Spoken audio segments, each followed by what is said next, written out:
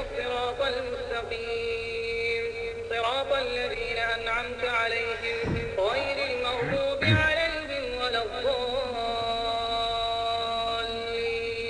الضالين. آمين. السلام عليكم ورحمة الله وبركاته. آه، المحاضرة اللي فاتت آه، ابتديناها بتقييم وتشخيص عيوب المنشآت الخرسانية وقلنا خطوات التقييم آه، وتشخيص عيوب المنشآت الخرسانية بترتبط بست نقاط أساسيين. غطينا المحاضرة اللي فاتت فيها نقطة واحدة منها وهي معاينة وفحص المنشأ الوقوف على نوعية وفعالية تأثير العيوب على المنشأ. والنهاردة إن شاء الله نبتدي آه، بالنقطة الثانية وهي عمل اختبارات اللازمة لتحديد كفاءة بنية العناصر الخرسانية. كل الكلام ده إحنا شرحناه قبل كده. هنقعد بقى على آه، بداية آه، الاختبارات الحقلية بالموقع. لتقييم أي نوع من العيوب الخرسانية اللي إحنا اتكلمنا عليها قبل كده أي نوع أيا كان فإنه يلزم عمل بعض الاختبارات في الموقع آه، لتحديد كفاءة وجود المواد المستخدمة وكذلك طبيعة جهد التربة اللي كنا بنأسس عليه. بغرض مطابقة ما تم تنفيذه لما هو وارد بإيه؟ بالرسومات التنفيذية أو الرسومات الفنية الخاصة بالمنشأ بالإضافة إلى أن هذه المعلومات هامة وضرورية لإجراء عمل الدراسات الفنية والحسابات الإنشائية والوقوف على أمان هذه العناصر الإنشائية المختلفة. أوكي؟ طيب بالنسبة للاختبارات عندي إيه اولا الفحص عن طريق الاختبارات الغير متلفة والنصف متلفة للخرسانة بالموقع. يمكن أخذنا الكلام ده قبل كده في دراسات مختلفة في إن في اختبارات آه، متلفة وفي اختبارات غير متلفة وفي اختبارات نصف متلفة. طب إذا كان أصلا عندي منشأ معيب أروح أبتدي بيه باختبار متلف يعني أنا اثر عليه لغاية ما أن أنهي العنصر الانشائي تماما ولا من الطبيعي إن أنا أشتغل في حاجة غير متلفة تماما تأثيرها يكون بسيط علشان بيها أطلع بقيم آه، استرشادية للحكم على آه، كفاءة المنشأ من عدمه أو العناصر الإنشائية المحملة أو اختبارات نصف متلفة أقدر أتعامل معاها بشكل إيه؟ غير متلف نهائيا لتقييم حالة العنصر الإنشائي. طيب آه، اختبارات الخرسانة بالموقع ضرورية؟ آه ليه بغرض الاصل حاجة كنا بنسميها ضبط وتأكيد جودة المواد والعناصر الإنشائية أثناء التنفيذ. ولكن أيضا للحكم على طبيعة وجوده الخرسانة في المنشآت الم... ال... ال... ال... القديمة أو الإنشاءات اللي حصل لها بعض من أنواع آه، التدهور بغرض تقييم أداء المنشأ وفحص كفاءته نتيجة لتعرضه لأي ظروف ايا كانت إن كانت ظروف في الإهمال في التصميم أو التنفيذ أو وجود أي كوارث آه، طبيعية أو غير طبيعية مثل طبعا الزلزال والحرائق وأي مؤثرات أخرى. هناك طرق عديدة لاختبارات الخرسانة آه، في الموقع ومن هذه الطرق هنبتدي بالاختبارات تقريبا الغير متلفة وبعد كده في النصف متلفة. فالاختبارات الغير متلفة منها آه، تعيين مقاومة الضغط للعناصر الانشائية باستخدام مطرقة اسمها مطرقة شيبيتد. إحنا النهارده مش بنعين ونقول كيفية العمل بمطرقه شميدت لكن المفروض الكلام ده اتشرح لنا في كورسات تانية أو في آه، آه، مواد أخرى دراسية مثل تكنولوجيا الخرسانة وغيرها. لكن النهارده بنقول إيه ده بيعمل إيه؟ دي مطرقة آه، سهلة جدا آه، في آه، التعامل. آه، تكلفة آه، التعامل بها قليلة وبيها بتديني قيم استرشادية بشكل كبير. مطرقة شميدت ممكن أعين بيها مقاومة الضغط لأي عنصر من العناصر الإنشائية إن كانت بلاطة ولا إن كانت كاميرا ولا إن كانت آه، عمود ولا إن كانت أساسات أو غيره. آه، ممكن أعين خواص الخرسانة آه، بطريقة اسمها طريقة الموجات فوق الصوتية الألترا سونيك بتاعتي. ويمكن قياس خواص زي إيه؟ درجة تجانس الخرسانة وجود فراغات وشروخ وعيوب داخلية مقاومة الخرسانة للضغط آه، تغيير خواص الخرسانة مع الزمن خواص الخرسانة تحت تأثير الحريق أو آه، المهاجمة آه، الكيميائية تعيين معايير المرونة للخرسانة آه، تحديد المناطق التي يوجد فيها مناطق ضعف. آه، من الخرسانة أو الحديد الداخلي. آه، في اختبار ثالث اسمه اختبارات مقاومة الضغط بطريقة القلوب الخرسانية. و... وإحنا طريقة القلوب الخرسانية قد تكون غير متلفة وقد تكون نصف متلفة. غير متلفة لو أنا وأنا بأخد عينة دي بتاخد طبعا عينة اسمها القلوب يعني بتاخد كور من أو عينة إسطوانية الشكل من العنصر الإنشائي المطلوب آه، آه، استخراج منه عينه للحكم عليه ممكن العينه دي وأنا باخدها تكون تاخد آه، آه، حديد آه، أو جزء خرساني من منطقة فعالة فبنسبة كبيرة بيكون تأثيرها سلبي وفي الحالة دي بنقول إن هي نصف متلف. يبقى انتشرت طريقة القلوب الخرسانية عن طريق استخراج هذه القلوب من العناصر الخرسانية باستخدام آه، آه، متقاب آه، ذو قلب بيكون متقاب طبعا قوي جدا عشان يقدر على الخرسانة والحديد لاستخراج العينات بطريقة سليمة وإجراء الاختبارات لتعيين الخواص المطلوبة عليها. يبقى طريقة القلوب الخرسانية قد تكون غير متلفة وقد تكون نصف متلفة متلفة. اختبار الكشف عن وجود حديد تسليح وتحديد أماكنه وأقطاره وسمك الغطاء الخرساني. الغرض من هذا الاختبار هو وجود آه، الكشف عن وجود حديد تسليح بالعضو الخرساني مع تحديد اماكنه وقطره كذلك عمق وسمك الغطاء الخرساني حتى 120 مللي وذلك عن آه، طريق أجهزة آه، مصنعة خصيصا لهذا الغرض آه، وتعرف باسم ال profometer أو آه، covermeter أوكي؟ يبقى دي الطريقة الأولانية اللي هو باختبارات آه، الغير متلفة أو النصف متلفه ثانيا اختبارات التحميل للعناصر والمنشآت الخرسانية المسلحة في بعض الحالات يكون من الضروري إجراء اختبارات التحميل حيث يصعب الحكم على سلامة العضو أو المنشأ الخرساني بإجراء بعد إجراء كل من الحسابات الإنشاء والاختبارات اللازمة على المواد المستخدمة في هذه العناصر آه، لذلك فإن الغرض من إجراء مثل هذه الاختبارات يكون الأسباب لمين؟ للأسباب بقى الآتية دي طب إمتى بجري ده؟ عدم إمكانية وصعوبة تقدير خواص المواد بدرجة مقنعة من نتائج الاختبارات النصف مطلقة أو غير متلفة. أنا مش هروح للتحميل مباشرة لأنه اختبار قد يكون غير متلف وقد يكون نصف متلف وقد يكون متلف فاختبار استخدامه صعب جدا. ولكن أنا إمتى بتزنق له؟ لو أنا عجلت الاختبارات النصف متلفة أو الغير متلفة بالموقع وما ادتنيش آه، آه، خواص أقدر بيها أقدر كفاءة المنشا أو إمكانية التعامل معاه. التفاصيل الانشائيه للعنصر أو المنشأ الخرساني غير متاحه ثلاثة التحقق وضمان الكفاءة الإنشائية للعناصر الحرجة والناتجة من اكتشاف وجود قصور في تصميمها أو تنفيذها. الوقوف على السلوك الإنشائي للمنشأ والتصميم الإنشائي معقدا لدرجة لا تمكن المهندس من التعامل مع آه، مثلها. اكتشاف عيوب وتصدع للمنشأ ككل أو جزء منه أو عنصر من عناصره الإنشائية. في بعض الأحيان قد آه، تبين وتقترح الحسابات ال- مبنية على المعلومات المتوفرة من الاختبارات العقلية للخرسانة أن المنشأ لن يصلح الاستخدام بعد فترة زمنية وأن معامل الأمان غير كافي. وفي هذه الحالات قد يكون آه، من المفيد عمل تجارب تحميل على المنشأ كله أو جزء منه للحكم عليه. آه، هذه الاختبارات للتأكد من أعمال الترميمات التي تمت من صلاحية المبنى بعد ذلك كوحدة واحدة. يبقى اختبار التحميل اختبار مهم آه بس ما أقدرش أروح له مباشرة إلا للإيه؟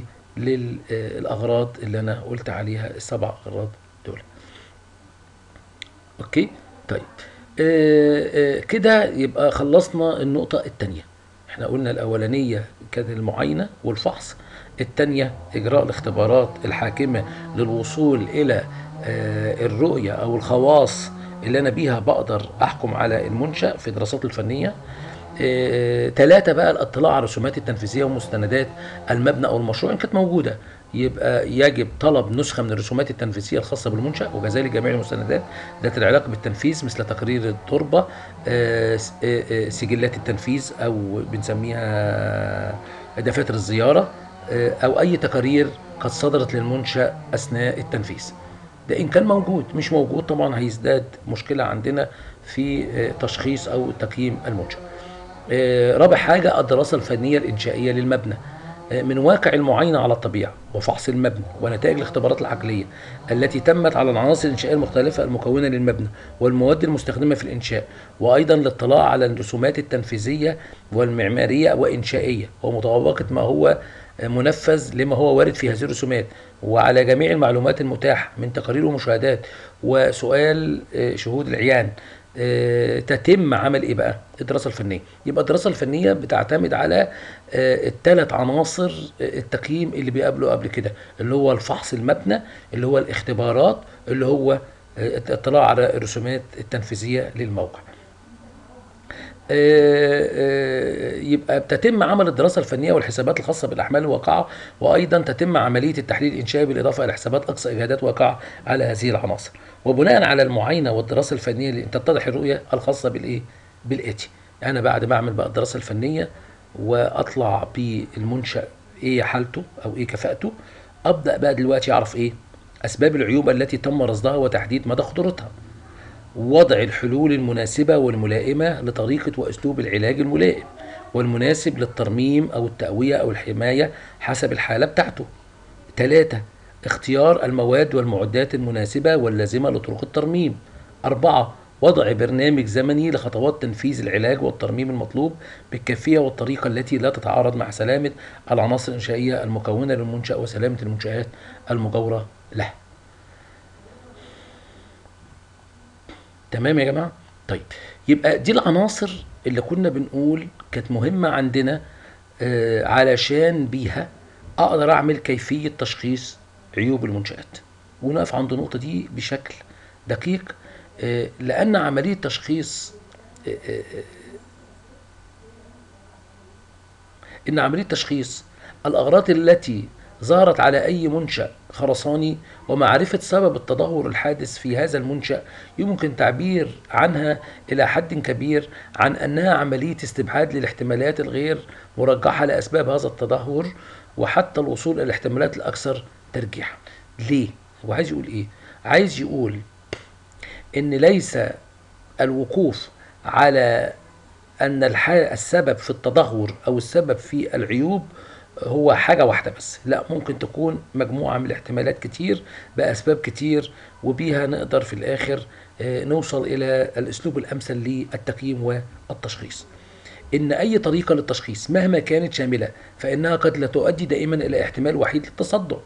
وأن سبب ذلك غالبا ما يرجع إلى نقص المعلومات الدقيقة عن تاريخ المنشأ ووقت ظهور الشروخ والملابسات المحيطة إيه بذلك. طيب تمام. تعتبر مشكلة نقص المعلومات نتيجة لعدم تسجيل هذه المعلومات وأيضا لعدم الاحتفاظ بها وتسجيلها وكمان عدم وجود والاهتمام بالرسومات الإنشائية والمعمارية تكون مشكلة أساسية في صعوبة تشخيص عيوب المنشآت.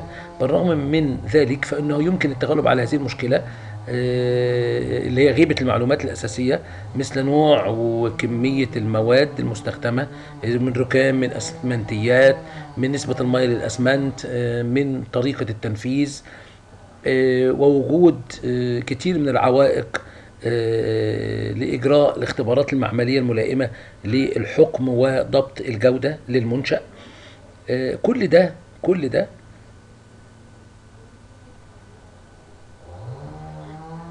يؤدي بشكل كبير لأسباب وجود عيوب وأسباب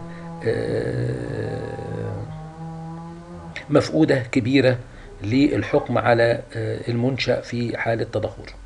طيب تمام. هنا لازم نشير إن له لا ينصح بالتوقف عند خطوة معينة في طريقة التشخيص. ما لم يكن السبب الذي تم التوصل إليه واضحا وجليا ومحددا وظاهرا يعني إن كانت الأسباب اللي إحنا اتفقنا عليها من أسس تصنيف العيوب أو أسبابها أو مدى خطورتها واضح وجلي خلاص. طب مش واضح وجلي ما تقفش بقى عند واحد. وذلك لأن العيوب الظاهرة بالمنشأ قد تكون بسبب عدة عوامل وليس عاملا واحدا. الأمر الذي يمكن القول بأنه لا يكفي تحديد عامل واحد فقط. وعلاجه وحتى وإن كان أكثر هذه العوامل ظهورا فإنما يجب تحديد كل من العوامل التي قد تكون السبب في هذه العيوب لكي يكون العلاج سليما. كده بنكون أنهينا الموضوع بتاع تقييم وتشخيص عيوب المنشآت الخرسانية. ولكن إحنا عايزين ننوه لده. هو الأصل إيه؟ لما باجي أخبط على بابك يا باشمهندس ونقول إن أنا رايح أشوف عيب منشأ. الأصل في زيارة الفني أو المهندس أو الاستشاري للوقوف على دراسة حالة المنشآت المتدهورة أو المعيبة هو في الآخر عمل إيه؟ عمل تقرير. والأصل في عمل التقرير مبني على شوية أسس. هي بقى اللي إحنا قلنا عليها اللي هي تقييم وتشخيص المنشأ. إن الأول لازم فحص جيد التاني لو احتجت اختبارات معينة ببدأ أجريها التالت إن أنا بدور على المستندات الأساسية للمنشأ ايا كان وبعدين ببدأ بده بعمل دراسة فنية عشان لو كان كل ده مش موجود عندي بشكل جيد فبضطر إن أنا أعمل أنا دراسة. أع- أعيد تصميم المنشأ طبقا للحالة المنفذ على أساسها وعلى ضوء ده بطلع بدراسة. هذه الدراسة يستفاد منها في كيفية الأسلوب الأمثل لتحديد الأسباب إن كان سبب واحد أو اتنين أو تلاتة أو أكثر بغرض التشخيص الجيد. لو شخصت تشخيص جيد يبقى يسهل عليا العلاج بعد كده. وبكده نكون انتهينا آه، من آه، الشابتر بتاع تقييم وتشخيص عيوب المنشآت الخرسانية. السلام عليكم ورحمة الله وبركاته.